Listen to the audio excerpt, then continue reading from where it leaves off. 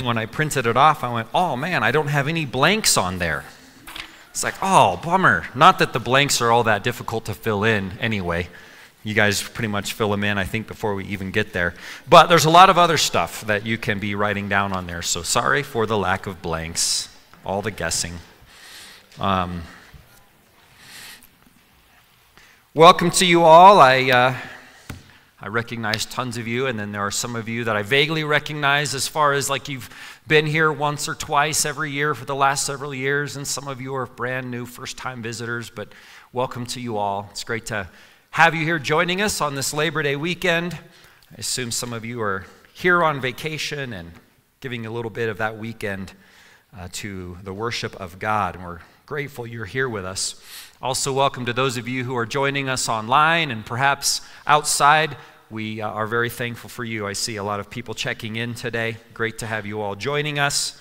And uh, so, we're going to be in Revelation chapter 2. And so, you can begin to turn there in your Bibles.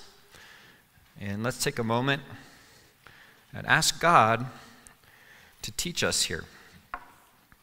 Let's pray. Lord, as we open up your word, we want to yet again stop right at this moment and ask, uh, just desperately plead with you, God, that you would teach us. Uh, you speak to us through James, and you say, in the context of uh, hearing your word, that we must be quick to hear, slow to speak, and slow to anger. Uh, Lord, we want to hear these things, and, and we want to, even if some of it were to prick us in our heart for some reason, we pray that you would help us to just humbly receive your word and that it would be implanted into our souls, uh, knowing that the message of your word and through faith in Jesus, you are able to save our souls. So we just come to you, God, and, uh, and ask for your leading in this time. And we pray in Jesus' name. Amen. Today we have right here something that not all of history have been so blessed to experience.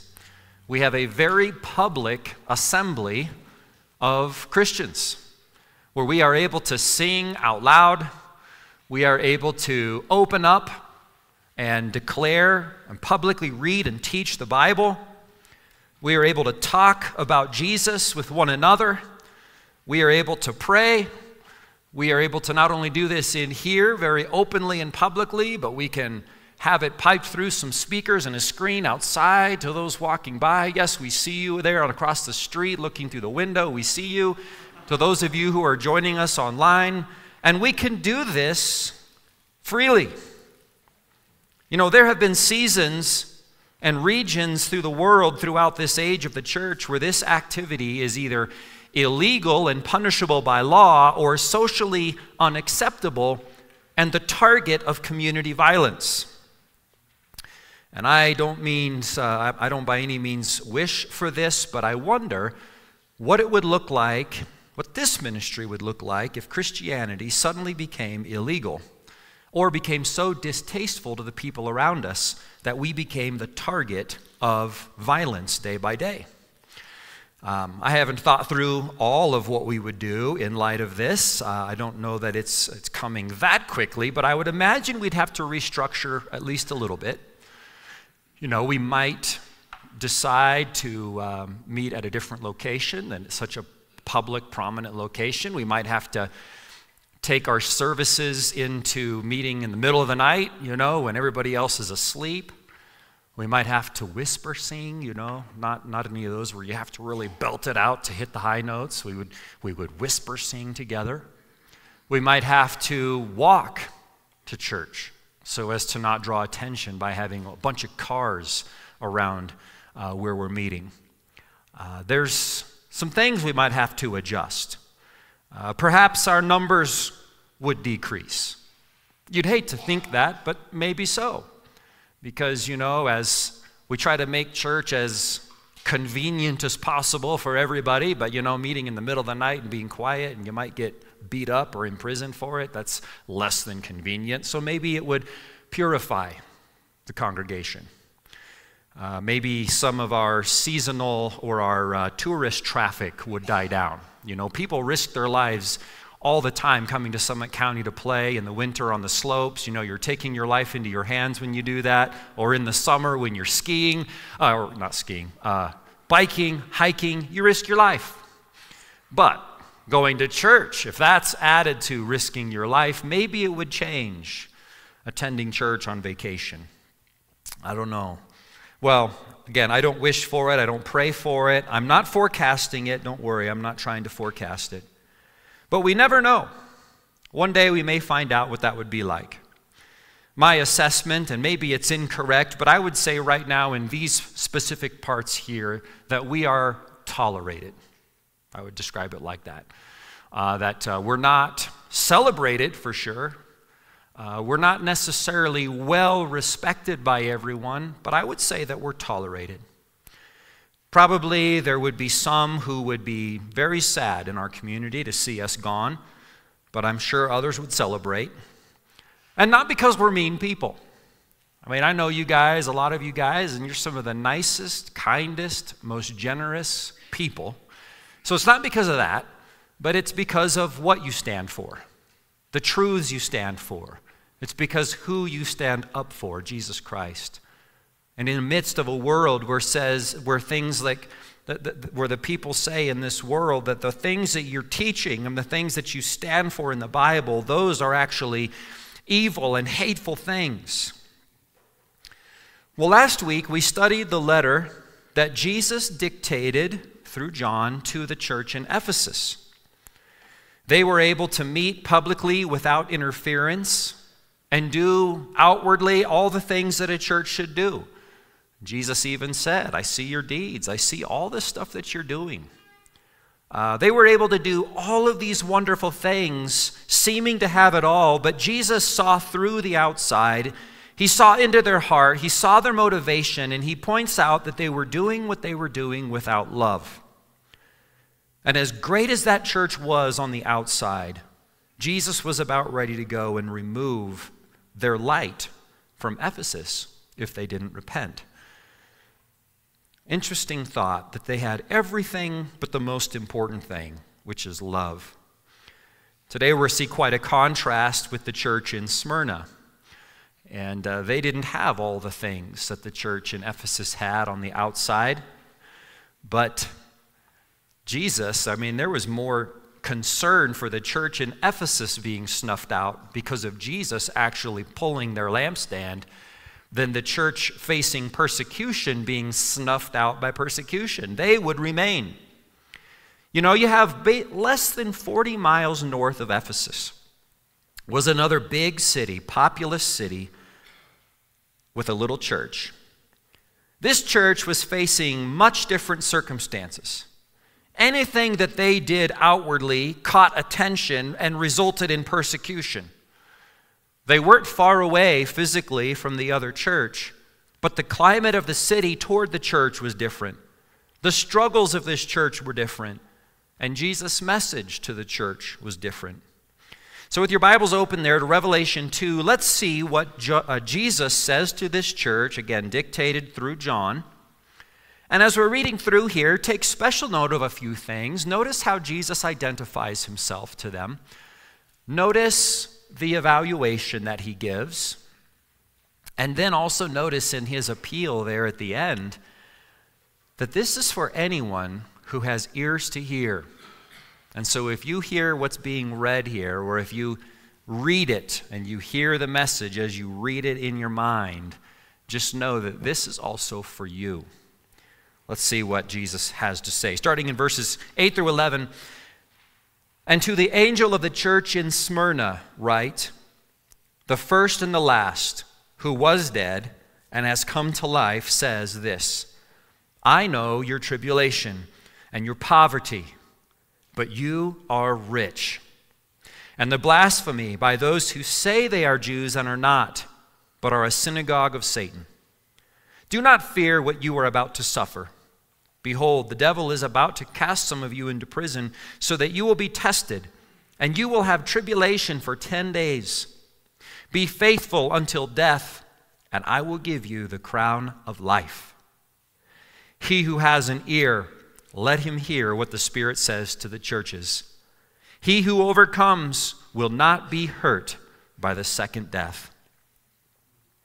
Simply put, this is a letter to a church that is suffering deeply on the outside, physically poor on the outside, but is spiritually rich on the inside. And this letter, it does have a lot of the same components. You know, we said last week uh, that Jesus follows a similar template, a similar outline in all of these letters. It still has the similar flow, but there are certain things missing in this one than uh, we have in some of the others, namely the negative evaluation. It's only positive things Jesus has to say for this church, and we'll take a look at that here in a moment. But let's just jump in to see this message from Jesus to this church. As always, Jesus begins by revealing the audience. He says that this is to the angel of the church in Smyrna. So this was to be given to the messenger of the church in Smyrna to then take to the church and make sure that message, Jesus' message, gets to them.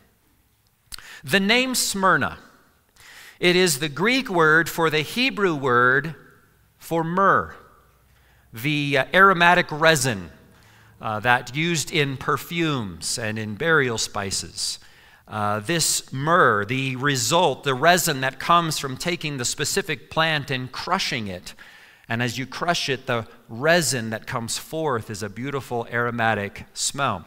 And uh, it's a beautiful picture, actually, symbolic of what this church is facing. They're facing the crushing of suffering and persecution, but as they do that, they are such an, a beautiful aroma to Jesus Christ. Myrrh, if you remember, was one of the three gifts presented at Jesus' birth, which was a prophetic foreshadow of his sacrificial death on the cross for our sins. So that's the name, uh, uh, what this name means of Smyrna. Means myrrh. But Smyrna, like Ephesus, was another very important city of the day. In fact, they say that it was the most beautiful, large city of the day. It was about 35 miles north of Ephesus, also located on the coast of the Aegean Sea, a seaport city with a, a really good harbor. Uh, we talked a little bit about Ephesus uh, down south being a strategic city because of its harbor, but that, the, the river and the harbor where it met the harbor ended up being silted in, and uh, that was one of the things that led to the demise of the city of Ephesus. But Smyrna had a good harbor, and uh, it still remains today. In fact, the city of Smyrna is modern day Izmir in Turkey, uh, which is the uh, equivalent, Izmir is the equivalent in the language of Smyrna. And so it's still a, a beautiful and a very busy and a large city. But Smyrna, ancient Smyrna, was an idolatrous city, like so many of them. They had temples to the gods and goddesses of mythology, specifically temples to Zeus, Apollo, Aphrodite, Asclepios. One of their favorites was the, the rowdy worship of the goddess Cybele. And uh, she, they looked at her as a mother goddess and really took a liking to her. Smyrna was a they were fanatical when it came to Rome. So much so that they actually had a temple dedicated to the worship of Rome. Seems kind of strange that they would go so far as to worship Rome, but they did.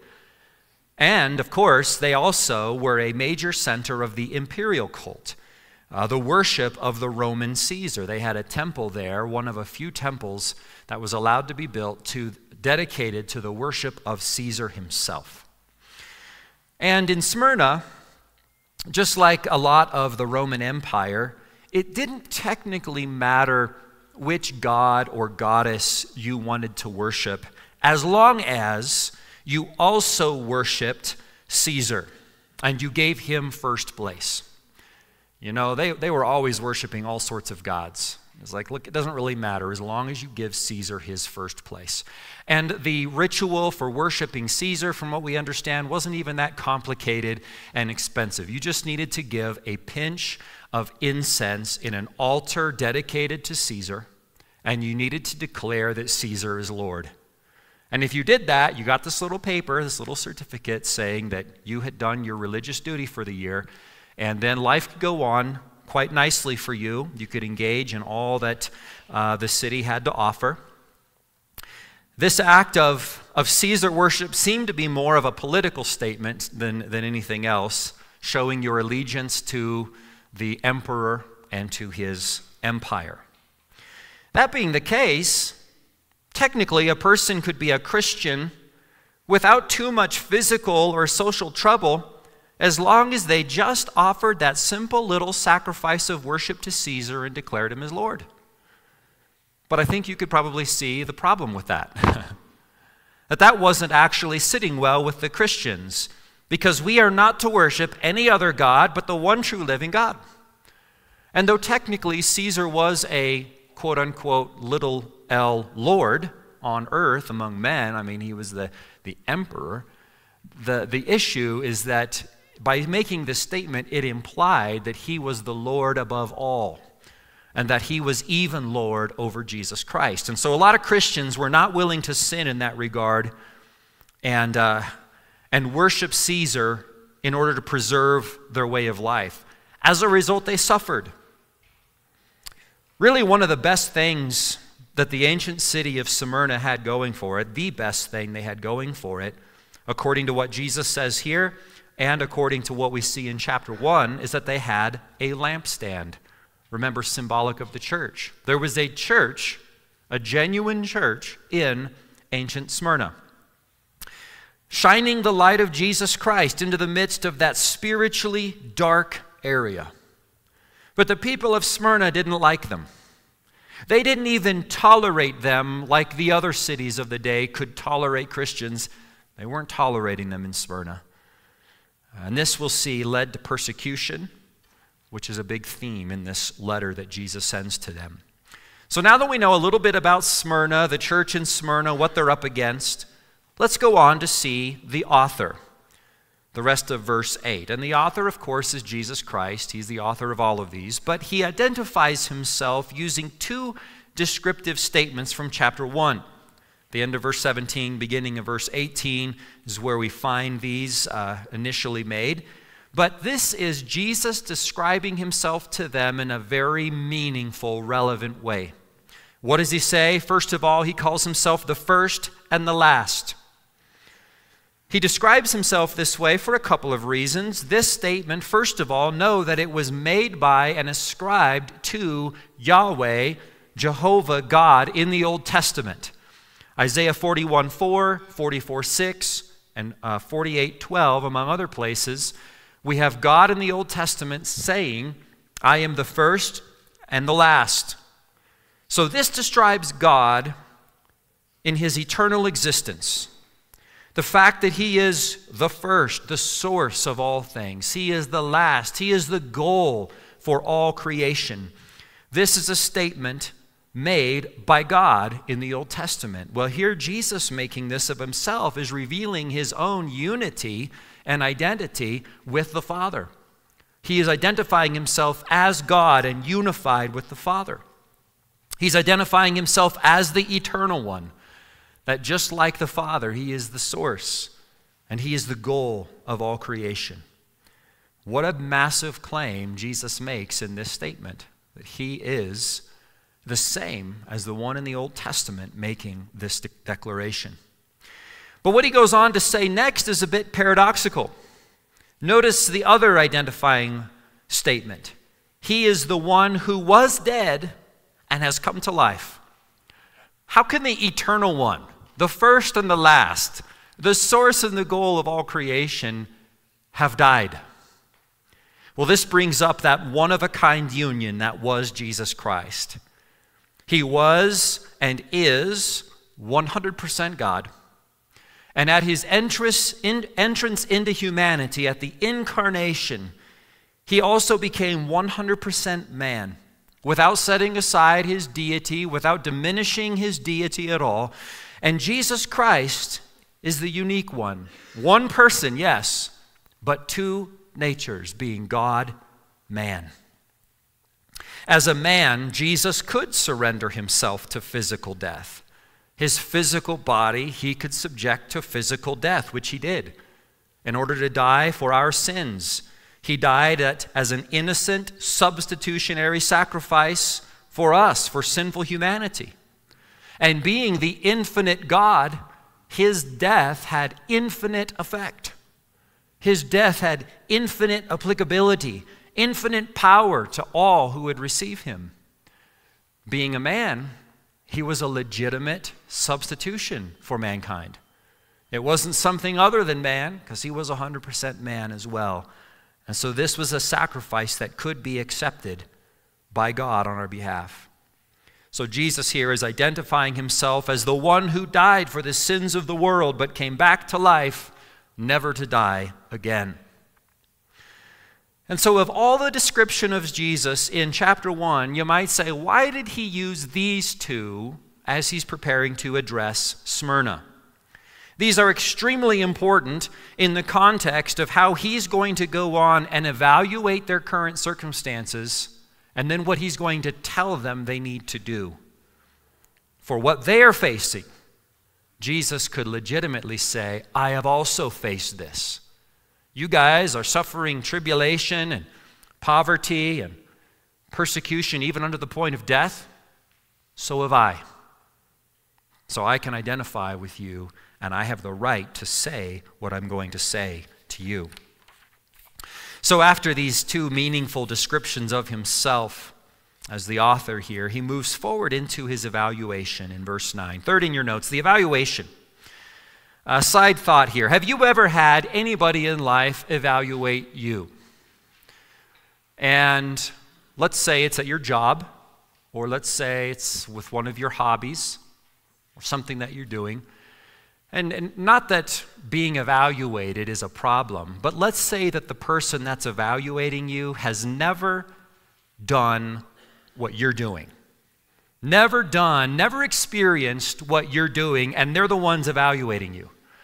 Uh, I've had that happen in different settings, and uh, you know, it's, it's kind of difficult to take much evaluation from a person like that. You want to be humble and you want to try to receive it. But in my mind, I find myself thinking it'd be a lot easier coming from you. I'd trust your evaluation more if I knew that you at some point had been in my shoes, that you tried this, that you've done it, and you've succeeded, and therefore are evaluating me. You know, you're speaking to me about things uh, which you've never experienced before. I don't know if you've ever had that. You probably have. You probably can identify. Well, in this letter, Jesus is speaking to Smyrna. As with the rest of these letters, Jesus starts by saying, I know, in this evaluation. He says, I know. He said last week, I know your deeds. He says this week, I know your tribulation. He'll say, I know where you live. Well, when someone says that, that sounds a little more threatening. I know where you live, but he's more empathetic in what he's saying in that one later. But in this case, he's saying, I know.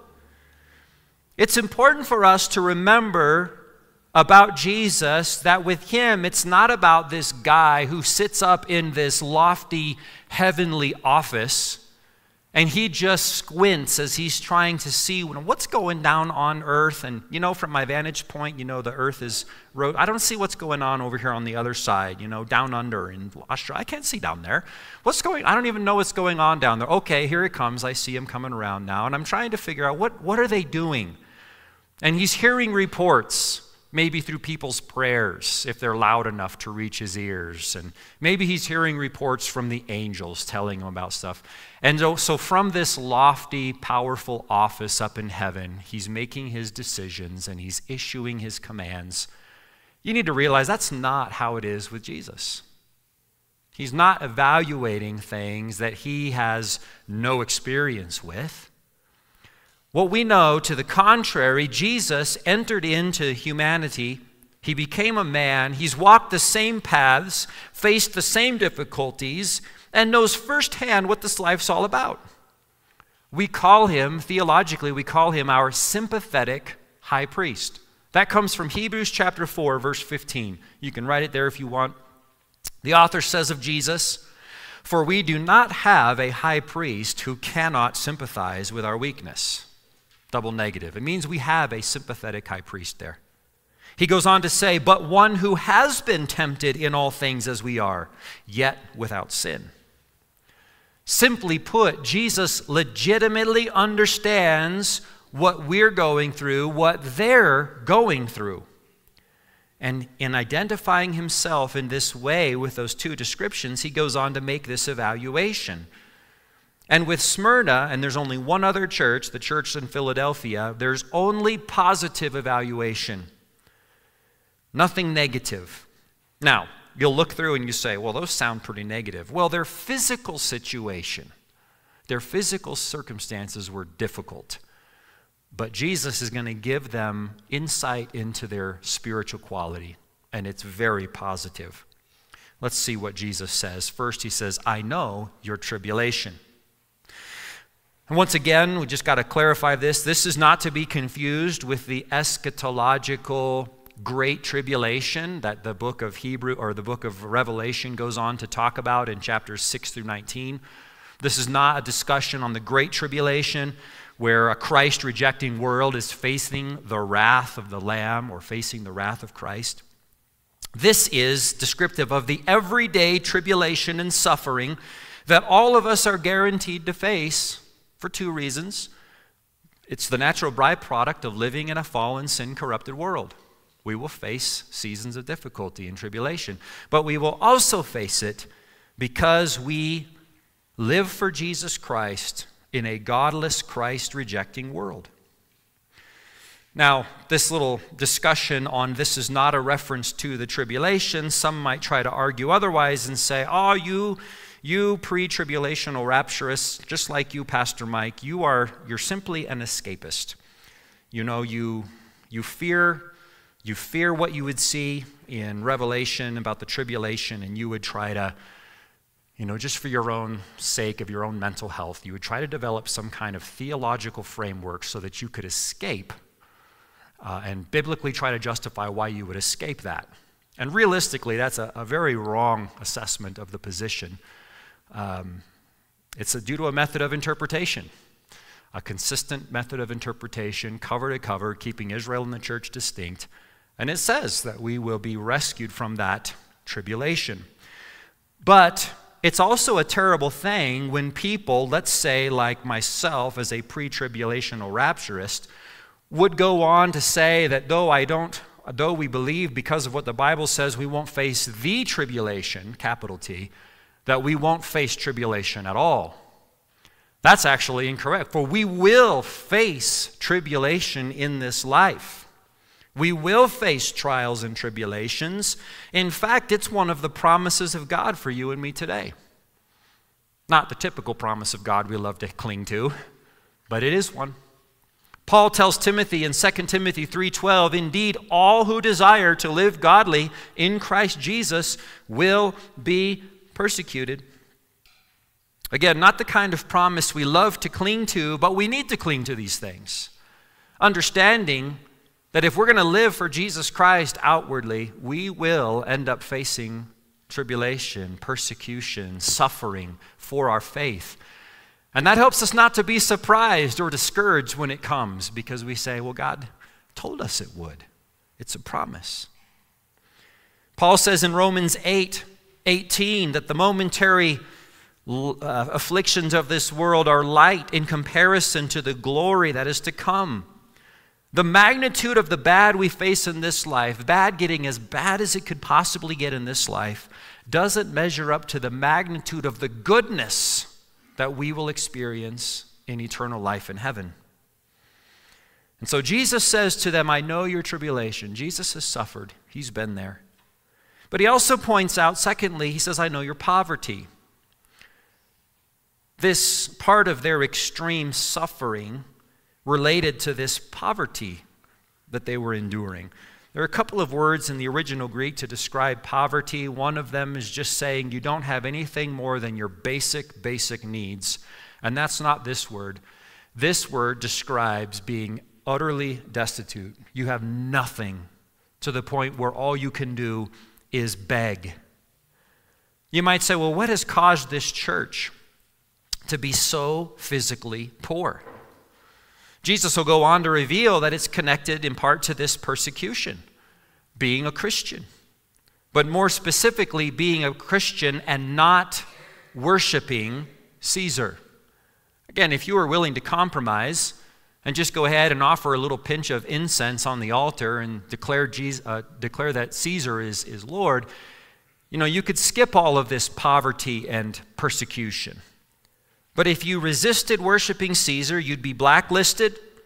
If you had a business, people would avoid your shop, they wouldn't buy your product, they wouldn't hire you to work, they wouldn't sell, your, uh, they, they wouldn't sell you their goods. They might even break into and vandalize what you have or steal what you have. And again, it wasn't so much that they were worshiping Jesus, it's that they were celebrating him without compromise and refusing to worship their gods, namely Caesar. So, in their physical, social, economic situation, they are severely poor. Um, but Jesus gave the, them some insight about how he views them. You might feel beaten down, you might feel poverty stricken, but Jesus says, But you are rich. How encouraging that would be. As far as Jesus is concerned, they were as wealthy as it gets in what matters. They didn't have anything that the world would consider valuable, but they had what Jesus says is valuable. They, they were full of faith and they were faithful to Him. How encouraging it would be in the midst of feeling the physical pressures of suffering, the poverty, and even letting those thoughts creep into your minds like, why is God withholding physical blessing from me? Am I doing something wrong? Am I not enough of a person of faith? And you're going through all these thoughts, just beating yourself down. And Jesus shows up and says, You know what? I see your physical circumstances here, but you are rich. Man, your tummy might still be hungry and growling at that moment, but your heart and soul would be filled to overflowing Jesus says that they are rich. He also goes on to point out the blasphemy by those who say they are Jews and are not, but are a synagogue of Satan. One thing we must not forget is though Rome did persecute the church quite a bit, it, in the, the original persecutors of the church and agitators that provoked Rome were the religious Jews. The religious Jews viewed Christianity as a, as a uh, heretical uh, sect, and they wanted to eliminate it to preserve purity. They viewed Jesus as an impostor, not the real Messiah, and everybody who follows Jesus as a defector from the truth. And so in Smyrna, there were a group of religious Jews that claimed to know God and follow God. And lucky for them, uh, probably because every time something went wrong, they would riot, but they were exempt from this Caesar worship. They didn't have to offer that little pinch of incense.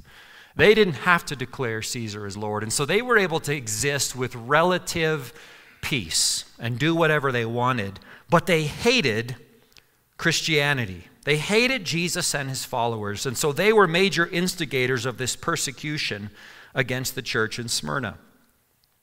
Jesus revealed that these Jews, though they claim to know God and fight for God's cause by persecuting the followers of Jesus, they were actually followers of Satan. Jesus called them a synagogue of Satan. They thought that they were assembling in honor of God. They thought that they were doing God's work by trying to persecute the church, but God says, no, they're doing the work of Satan. In fact, the things that they say about God and the fact uh, the things that they say about God's people are blasphemous, Jesus says. Throughout this church age, there have always been people who try to claim to be Jews or God's chosen people and the recipients of all of God's blessings that were meant for, for the Jews, but according to God, they're not. And as their, their, all of their claims and the pushback that they give against God's actual chosen people, God calls blasphemous. Uh, but in Smyrna, these so called Jews were a big part of the reason behind the physical tribulation and poverty that these Christians were facing. Their physical situation was not positive, but Jesus' evaluation of them was. They were rich, he says. Now, there's no other evaluation he gives of them. There's nothing negative to be said. And so, with nothing negative to evaluate, he just moves on next to give them the remedy. Verse 10 the remedy of their situation. Now, remedy implies maybe they're doing something wrong, but again, there's nothing wrong except they have difficult physical circumstances. And so, this statement here, this instruction is for them to hang on to in the midst of their difficulty. I like to try to put myself in their shoes. You know, I don't know when they're gathered here, but knowing persecution, you can imagine maybe it's the middle of the night.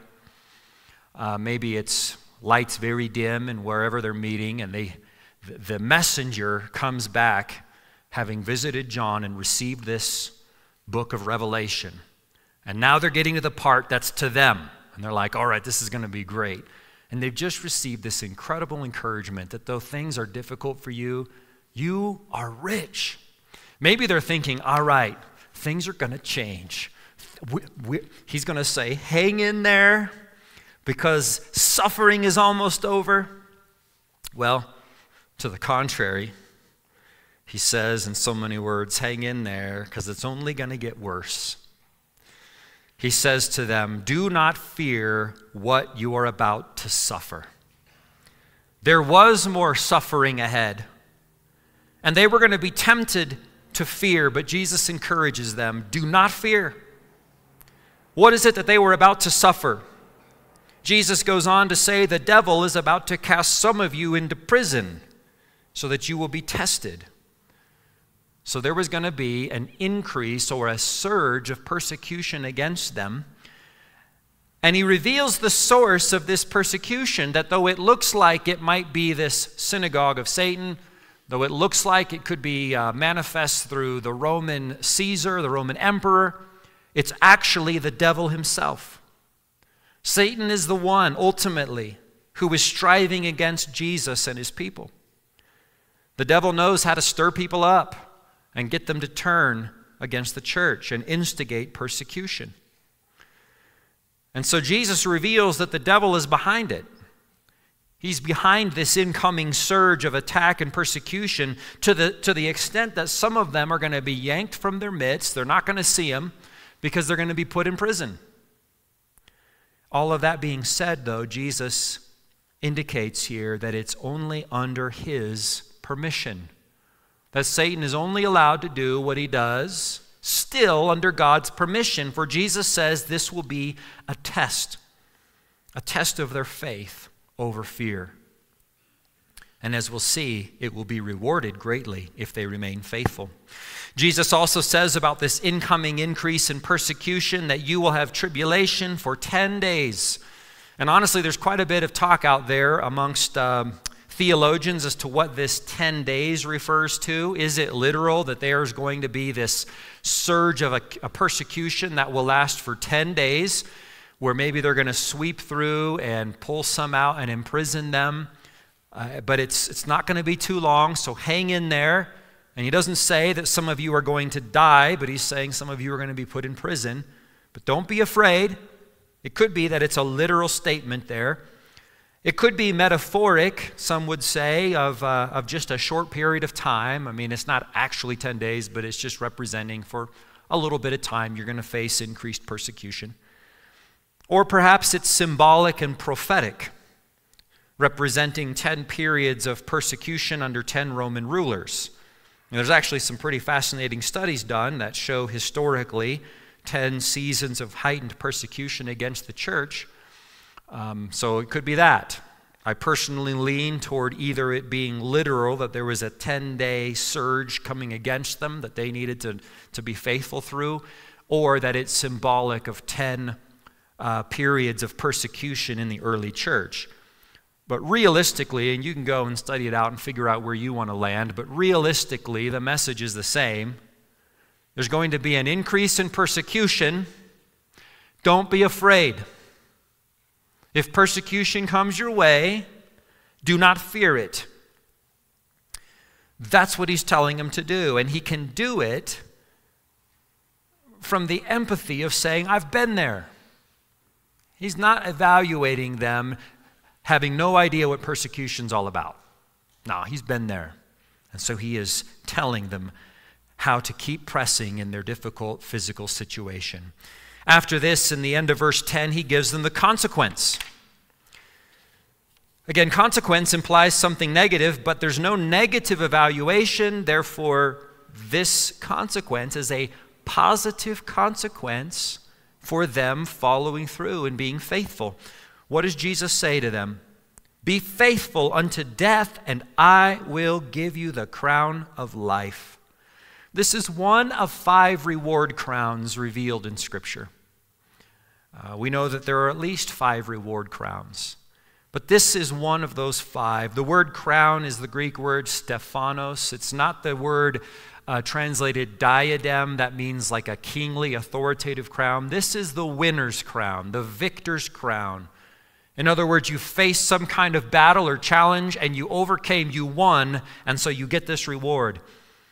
And so, in this case, when persecution comes, if you remain faithful all the way through, even if it costs you your life, you receive this reward of the crown of life. I would probably be missing something important if I didn't give you at least one example in the early church, even specifically in the, in the church of Smyrna, of persecution relating to or resulting in the death of, of a believer. Um, you've probably heard the name Polycarp before. You're like, yes, my favorite name. I'm going to name my son that. Polly for short, or Carp a less attractive name, unless he looks like one, and then it could be descriptive. But Polycarp, Polycarp. You heard that name? Well, you'll never forget it now. How does he relate to Smyrna? Polycarp had a mentor, someone who discipled him. You know who that was? John. John the Apostle. When he took on discipleship ministry, he took on this poor guy named Polycarp and uh, he began to pour into this guy's life, and Polycarp became a hero of the faith in the early church. And uh, when John came back from the Isle of Patmos and he moved, Paul moved, or John moved back to Ephesus, Polycarp was in Smyrna. And Polycarp actually was appointed by John to be the bishop or the elder of the church in Smyrna. And so, Polycarp, when he was a very old man, it was discovered that he hadn't been making the required offering to Caesar, and he was forced to do so or else be executed. If he would say, Caesar is Lord, he could spare his life. If not, he was going to be fed to the animals. And then, as they began to review, and they said, Well, there's a technicality here. We can't actually feed them to the animals today, because they're already put away, you can read the report, they're discussing on this, and they say, so if we're going to do it today, it's going to have to be by fire. And so they begin to threaten him with fire. Put a little pinch in the fire, or else we're going to burn you with fire. And uh, the records show that when he was pressed to worship Caesar, Polycarp said these very famous lines. He said, 80 and six years I have served him and he never did me any injury, how can I then blaspheme my king and my savior? It goes on to say that they continued to threaten him with fire in that same context. And he said to them, You threaten me with fire which burns for an hour and after a little while is extinguished. But you are ignorant of the fire of the coming judgment and of eternal punishment reserved for the ungodly. Why are you waiting? Do what you will do. and so they gathered up wood. Um, the record shows that it was Jews, the synagogue of Satan, that took the lead. The religious Jews, in getting the firewood, put, piling it all up, they put Polycarp on top. They didn't even have to bind him there because he said, I'm willing to die for Jesus. They set the wood pile ablaze, and the record shows actually that the fire was not was not burning Polycarp. And so someone ran over and actually stabbed him and uh, put him to death, and then the fire was able to consume his body. But Polycarp is one of many examples of people of faith, even specifically in Smyrna, who were faithful in the midst of persecution, faithful to the Lord Jesus, even unto death, and no doubt receive the crown of life as a reward. Jesus goes on in verse 11 to make the appeal. He who has an ear, let him hear what the Spirit says to the churches. So, this is for the church in Smyrna, yes, but it's also for the churches, plural, for all churches in this age. But it's also for anyone who has an ear and hears this message. Therefore, it is for you and for me. The church in general in Smyrna faced persecution. Some were imprisoned, some were even put to death. And over the course of the next couple of centuries, there were many believers who were heavily persecuted, not just in Smyrna, but all over. Even today, around the world, there are Christians who are suffering due to persecution, suffering tribulation, poverty, imprisonment, even death for their faith. And so we pray for them. We pray, God, grant them grace and faithfulness no matter what they face. God, help them to be merciful, uh, to be faithful, even unto death. And for us, in whatever level of suffering we may go on to face, may we not fear, but may we remain faithful.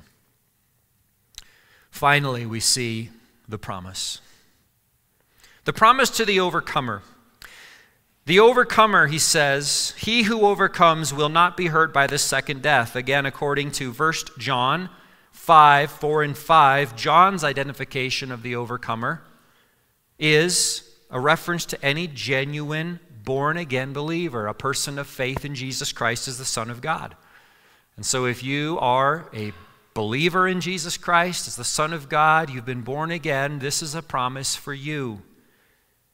And this is a promise that we will be protected from the second death. The second death is mentioned later in Revelation chapter 20, verse 14, defined as eternal death in the lake of fire. That's the eternal destruction place for those who have not received Jesus but have rejected him. So, believers, they're only subject to the first death. That's physical death. Unless the rapture happens in your, ta- in your time, you are subject to the first death, physical death. But if you've been born twice, meaning physically born, so you're alive, if you've been born again, spiritually, you've come alive in Christ, then you're only subject to that first death, physical death. And um, for those who have not been born again, uh, those who have been born one time, not a second time, they will face two deaths. There's the first physical death that all face, but there is this second death, which is eternal destruction in the lake of fire. But Jesus says, Don't fear, because you're not going to face the second death. You know, today in our country, persecution is on the rise. Somewhat rare, but it does happen that a person will go to prison or even die for their faith in Christ. It happens. Um, it may increase, I don't know. But either way, you and I are encouraged not to fear. We don't have to fear. We are to remain faithful. For the worst thing that could possibly happen to us in the midst of persecution is the first death which gives way to what? Heaven, glory, paradise, the presence of the Lord Jesus Christ. That's actually a win, according to the Apostle Paul. Philippians chapter 1, Paul's in prison. And he doesn't know if he's going to make it out or not, or whether he's going to be put to death for his faith. He says, I don't even know which to choose if I had the choice. He says, For to me, to live is Christ, but to die is what? Gain. It's a win, according to Paul, Philippians 1:21. To the overcomer, you don't have to worry even in the midst of persecution or the face of physical death because of this promise, you will not be hurt by the second death. That's the big one. That's the one that's reserved for all who reject Jesus Christ as their Savior. Today is Communion Sunday. I'll invite the music team back up and the guys to get everything finalized with the elements. Communion Sunday, where we take the time to reflect upon the sacrifice Jesus made to save us from the second death. Jesus came and lived a life without sin, but then, as we talked about earlier, being both God and also 100% man, he took our place. He died on the cross for our sins. He paid the price that our sins demanded be paid. He took the punishment for our sins upon himself. His body was punished with the punishment that was meant because of our sins. It was meant for us. And his innocent blood was shed for our forgiveness. When we take the uh, communion elements, we remember his body represented in the bread that was broken for us. Uh, we remember that as his body was being punished with the punishment meant for us, that his innocent blood was shed. We remember that when we take the cup with the juice. It represents his blood that was shed for our forgiveness and cleansing. Now, we don't require that you be a member of this church to uh, take communion with us, but all we ask is that you uh, be a member of the body of Christ, meaning that you have received Jesus Christ as your Savior from sin. That you believe that Jesus died on the cross for your sins, and that he rose again the third day, and that you have gone to him and accepted that payment and that you are trusting in Him and in Him alone for your forgiveness and your salvation. And if that's you, we, in, we invite you to take communion with us. Uh, if you have not asked Jesus to forgive you and save you, do it today. Like, do it now. It just as a matter of you moving your faith, your trust, off of whatever it has been upon, hoping that you're going to make it into heaven, and putting it all onto Jesus because of what He's done making your payment, rising again, and you've received Him and you trust in Him. We're going to have a moment of quiet self examination and reflection. And uh, for those of you who need to ask Jesus to forgive you and save you, do it then. Don't wait. Do it then. Uh, for some of us believers, uh, maybe there's some unconfessed sin in your life during this time of, of quiet reflection. You can talk to God about it. And for others of you who've been keeping short accounts and you're all confessed up and you're living for Him, why then take the time to give Him thanks and praise for the sacrifice that He has made. Uh, we're going to do as we, we, we typically do after some time of self examination. We'll dismiss you all starting in the front rows. If you're not going to take communion with us at that point, you could um, just leave if you would like. If you're going to take communion, we'll, we'll have people stand up starting in the front rows. You'll work your way out these side aisles, and you'll come back in the center aisle, and the, the trays of elements will be back there. And you just take a stack of two cups. One will have the bread, and one will have the juice. Come back to your seat, and then we'll take communion together. But let's just take a moment here before our Lord in quiet uh, self reflection, and then we'll continue on.